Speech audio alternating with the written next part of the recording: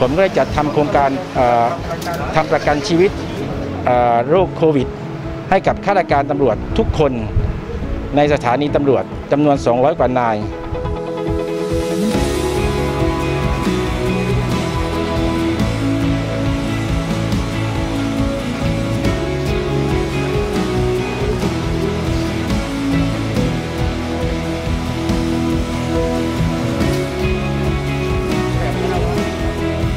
จากป่าตองนั้นเป็น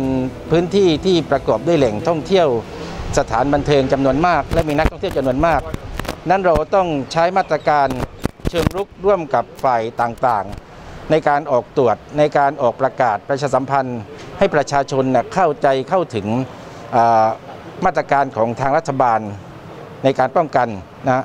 ซึ่งณวันนี้ณพื้นที่ต่างๆ ก็เริ่มที่จะเคลียร์ พื้นที่ต่างๆ ประชาชนผู้ประกอบการสถานบันเทิงก็ให้ความร่วมมือเป็นอย่างดีนะครับ ซึ่งวันต่อวันเราก็จะรับข้อมูลจากทางราชการเพื่อออกไปพบปะ แล้วก็ให้ข้อมูลตามความเป็นจริงของประชาชนนะครับกรณีหนึ่งกรณีสองก็เรื่องของการตรวจสอบเฟซนิวต่างๆ ที่ออกข่าวลวงเพื่อเป็นการสร้างกระแสหรือความตื่นตระหนกให้กับประชาชนตำรวจเราก็มีหน้าที่ตรวจสอบตรงนั้นด้วยนะกรณี ส่วนในเรื่องของมาตรการเกี่ยวกับตำรวจเองนะฮะเราก็ปรับเปลี่ยนวิธีการทำงาน เช่นเราไม่มีการประชุม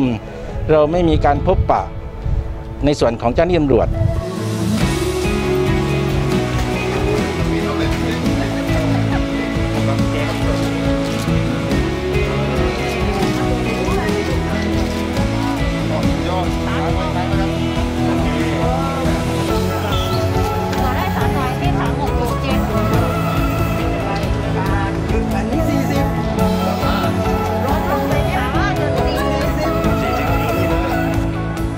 มื่อตำรวจเราต้องมีหน้าที่ในการปฏิบัติงานอยู่ เราก็ต้องมีการเซฟตัวเอง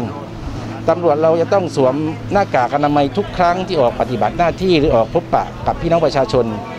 จะต้องทำความสะอาดเจลนะทั้งสำนักงานที่สถานีตำรวจ เราก็ตั้งศูนย์เพื่อคัดกรองตำรวจเอง คัดกรองนักท่องเที่ยว หรือคนที่จะมาติดต่อที่สถานีตำรวจจะนโยบายอย่างหนึ่งที่ผมดำเนินการทำก็คือผมได้ ประสานกับบริษัทประกันภัย ผมก็ได้จัดทำโครงการทำประกันชีวิตโรคโควิด ให้กับข้าราชการตำรวจทุกคนในสถานีตำรวจจำนวน 200 กว่านาย เพื่อให้เป็นหลักประกันให้ตำรวจเราได้มีประสิทธิการและทำงานอย่างมีกำลังใจในการปฏิบัติหน้าที่